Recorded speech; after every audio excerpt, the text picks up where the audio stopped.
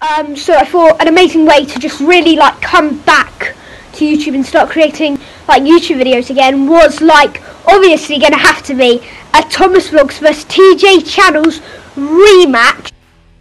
I've been training so hard for the fight and I'm going to continue to train so hard and because of that TJ Channels you're going down.